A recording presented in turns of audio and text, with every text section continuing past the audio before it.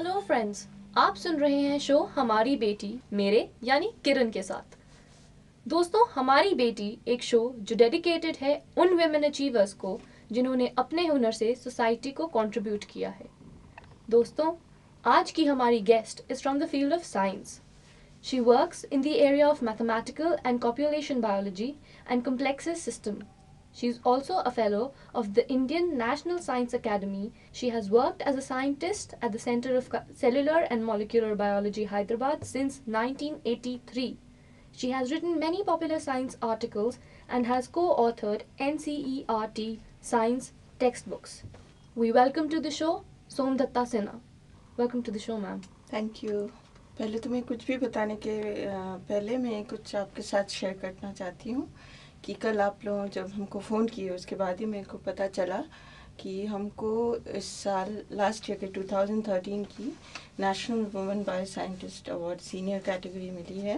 And this is given to one person only this single award and it's given for the life time achievement for research and also application of the research to in the country application of the result to benefit of students and society so i was really very happy that uh, that i could uh, get this at this stage of my life तो मेरे बारे क्या बताऊँ Hmm, अभी तो I was born in Kolkata बासठ साल पहले तो mm, मेरे पेरेंट्स हमारे पिताजी इंजीनियर थे और माताजी हाउसवाइफ थे अ, अभी भी है अ, तो वहाँ हम कलकत्ता के बाद आफ्टर बर्थ पिताजी के काम के सिलसिले हम नॉर्थ इंडियन के नॉर्थ इंडिया के बहुत सारे शहर में घूमे। हैं आगरा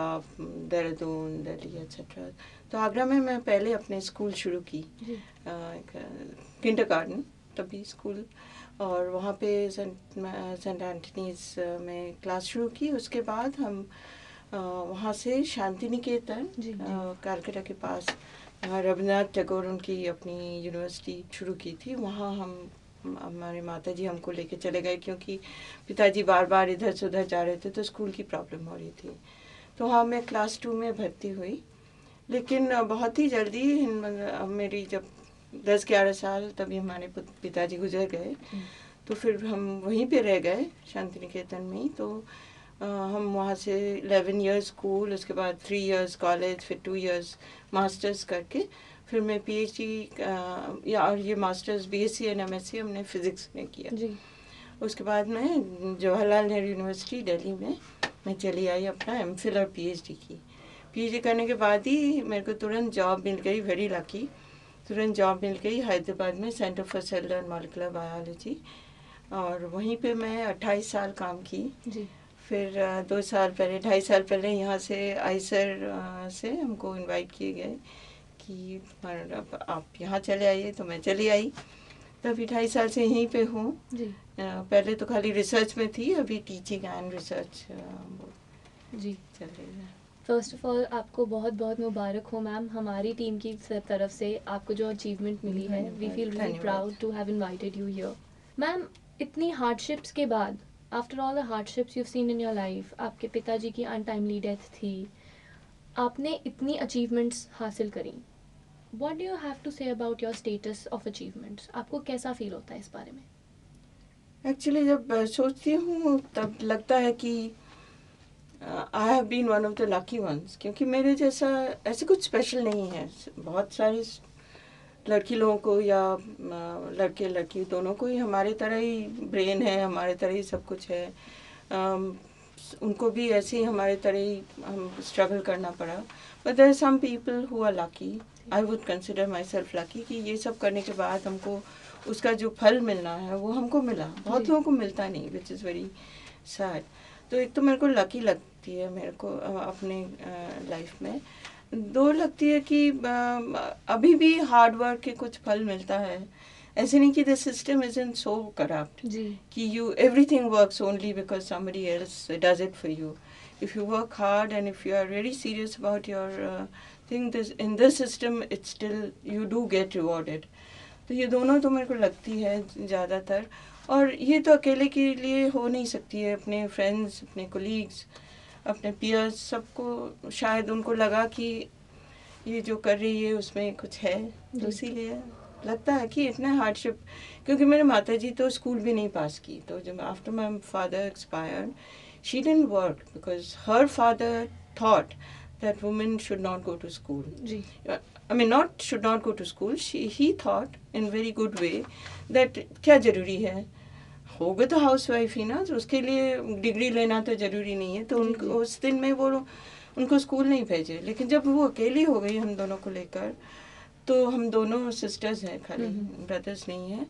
तो फिर वो कहीं काम नहीं कर सकी। But she was such a good housewife that she manage वो तो first studied with scholarships. Completely I had my science talent scholarship so school से कॉलेज में फिर पीएचडी करने के टाइम पे पूरा कभी स्कॉलरशिप के मनी जब हम जेएनयू में पढ़ते थे तब फोर हंड्रेड रुपीज़ मिलता था उसी से वन हंड्रेड रुपीज़ घर पे भेजते थे। तो कभी कुछ एक्स्ट्रा खर्चा करना या वो तो कभी सीखे नहीं। But she she is one who. Taught us all this so it has been difficult but I think all the difficulty teaches you how to lead your life without being very extravagant you understand the worth of things that you get उस time पे बहुत rare था कि लड़कियों को पढ़ाएँ। In your time when you started studying it was very rare कि लड़कियों को पढ़ाएँ या लड़कियों को स्कूल भेजें। आपने पीएचडी करी। आप साइंटिस्ट बनी। What motivated you to become a scientist So I think um, uh, science is a subject कि वो पढ़ाने के ऊपर बहुत डिपेंड करता है। आपका टीचर्स कैसे हैं? तो हमारे स्कूल में जो शांति निकेतन में जो स्कूल है वो तो ओपन एयर स्कूल थी जी। तो नीचे के अप टू क्लास फाइव हमारे कोई साइंस क्लास क्लासरूम में नहीं होती थी। वो हमारे क्लास पीरियड में हमारे टीचर हम सबको लेके निकल जाते थे। और निकल के हर सीज़न में कौन सा फूल हो रहा है, कौन से फल हो रहे हैं, कौन से पक्षी दिखता है, उनके कैसे। तो so it was very kind of related to nature so अब हम हम जब साइंस किए थे, हमको लगा था कि science is nothing but our own life and since I like life so मेरे को लगा था science is something I want to do ऐसे नहीं कि हम हम लिखते भी थे पोइम्स भी लिखते थे हमको आर्ट में भी इंटरेस्ट है स्कल्पचर करते थे मिट्टी क्योंकि शांति निकेतन में हर तरह का क्लास Yes, सबको दिया जाता है। Music class dance class sculpture class drawing class everything is given to everybody so सबका अपना अपना इंटरेस्ट आ जाता है। उसीलिए साइंस हम शुरू से ही हमको साइंस में इंटरेस्ट थी। उसके बाद मैथ्स भी अच्छी लगती थी फिजिक्स भी अच्छी लगती थी तो हम फिजिक्स ही पढ़ना शुरू किए थे। हमको लगता था कि आसपास में इतना कुछ हम देखते हैं इतना अच्छे सुंदर है तो कैसे है ये सारी चीज़? फिजिक्स में we learn laws laws of physics and all that तो इसका भी कुछ लॉ होगा नहीं तो सारे फूल इतने सुंदर शेप के कैसे होता है? हर जनरेशन में we all are bond with the same shape same size size तो इसके पीछे कोई तो होगा कोई तो रूल्स होगा। तो साइंस हमको इंटरेस्ट है पहले से ही तो हमको अच्छा लगता है उसी मैंने साइंस किया। लेकिन हमारे टाइम पे जैसे बहुत कम ही लोग women were in science things have change a lot I mean now even parents encourage girls to study areas where only boys used to be there earlier now girls are going there is lot of acceptance पहले रहता था अच्छा आ गए हो हमारे physics में तो चलो पढ़ो। type. So we generally people accept that you are as kind of equally. So acceptance level has gone up much more, and yes. people accept you as a student, not as a girl student or a boy student. Yes. Colleagues also uh, respect you equally well, and they generally even family maybe.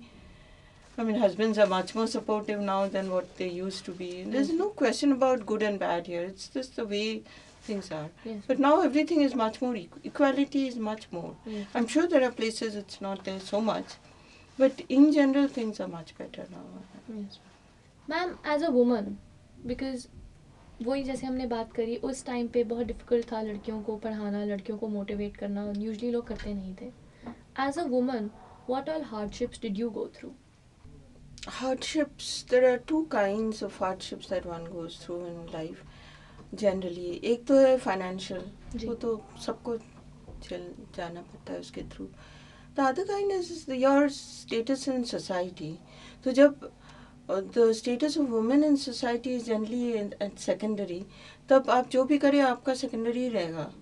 तो acceptance in science और anywhere in job always as if you're a supporting जी। you're never the leader that kind kind of thing has always like uh, when i was doing तब थोड़ा time लगी थी मेरे को क्योंकि मैं नई एरिया में काम कर रही थी तो कोई ज़्यादा गाइडेंस नहीं थी हम आप अपना ही शुरू करके करते थे। तो हमारे रिलेटिव्स भी है कोई भी आके हमारे मदर को बोलते थे क्या करा रहे हो लड़की को? उसको तो शादी करवा के घर तो चावल बना के खाना तो है ही तो क्यों इतना बिना बात के पढ़ा रहे हो? तो there was always a negative feeling कि ऐसे नहीं कि सपोर्ट करो हाँ तो वो तो थी उसको और उतना जब पेरेंट्स भी वहाँ सुनते हैं उनको भी लगता है कि क्यों उसको बस शादी करा दो कुछ भी करो। तो that has always been a tough thing to tell parents कि नहीं हम करेंगे। टाइम लग रहा है तो क्या है? तो अभी इतने दिन के बाद तो भी I don't have to prove but initially everybody has to specially I think girls generally have to tell prove to their parents कि हम जो करना चाह रहे हैं हम चाहते हैं करने हमको टाइम लग रहा है लेकिन हो सकता है। तो that has always been a problem क्योंकि हम नए एरिया में काम करते तो सभी में हमको अकेले ही करना पड़ता था। तो other than that I I have always been in good places like Shantiniketan was a very safe place JNU was a very very very friendly place. Yes, ma'am. तो एंड कोलीग्स में भी जब हम सी सी एम बी में गए हैदराबाद में काम करने के लिए हम लोग भी नए थे। तो generally friendship from colleagues help from them has been good but there has always been that thing from the family कि तुम फैमिली में और टाइम दो तुम Hmm. ये क्यों कर रहे हो क्यों नहीं ये हो रहा है वो नहीं So that has always been, which is very special for women. For Yes, men, ma'am. people don't expect that. Yes, ma'am. But um, you have to try and match both. तो वो- वो हार्डशिप है या क्या है जो भी it's something which will make you less incline to do science वो रहता है लड़की लोगों को।